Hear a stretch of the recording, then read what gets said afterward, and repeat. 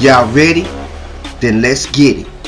One of the most anticipated battles has now arrived. The Doberman Pinscher versus the Giant Schnauzer. Who you got? Both of these breeds have excelled in military, police, and home defense. But who's the baddest?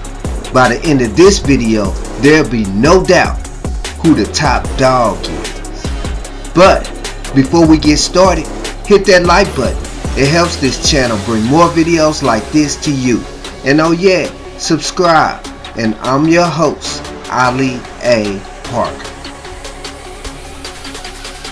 Bite Force.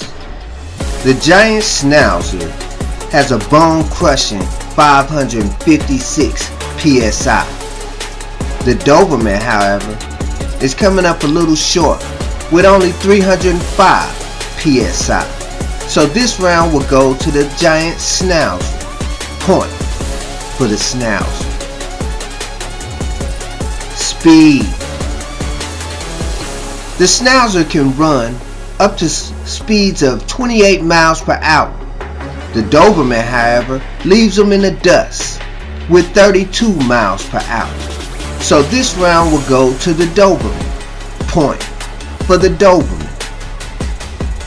Size.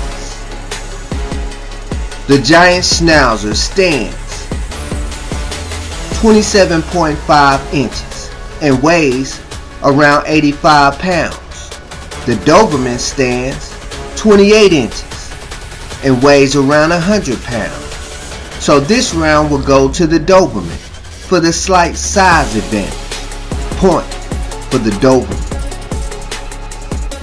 Armor or coat type. The giant schnauzer has thicker fur that will help them stay warm and be able to be used in all weather types. The Doberman has short, smooth coat. So this round will go to the Schnauzer. Point for the Schnauzer. Athleticism. Both of these dogs are very athletic.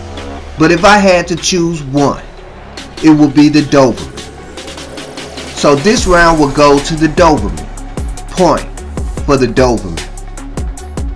Protective nature.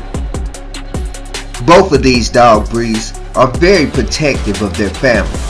So this round will be a tie.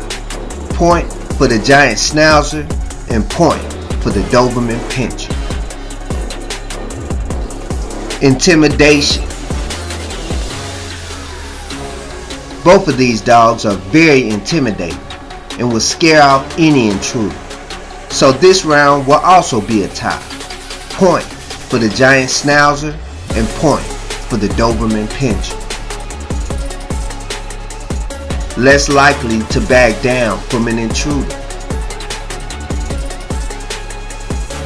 Both of these dog breeds are very brave and are known not to back down so this round will be a tie. Point for the Giant Schnauzer and point for the Doberman. Good with family, children, and other dogs.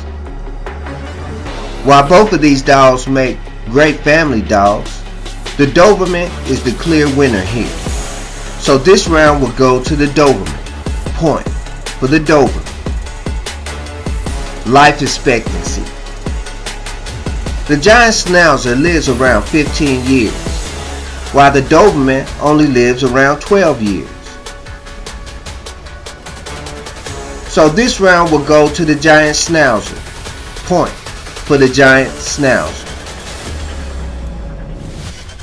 Now let's ante up the points.